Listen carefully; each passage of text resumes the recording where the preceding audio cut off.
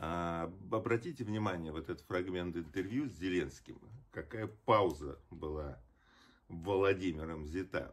Я не понимаю, то ли он так напрягся по поводу того, что его собеседник напомнил ему, что он комедиант изначально, а, то ли его вопрос про Путина а, застал врасплох, его попросили любимую шутку про Путина воспроизвести.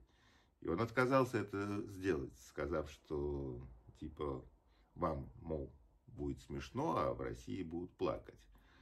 То есть на, на самом деле просто растерялся, оказался не готов. You were a comedian. Um, do you have a favorite joke about Putin? Me.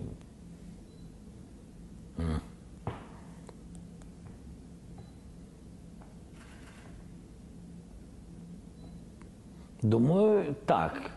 Не впевнений, що я готовий її розказати.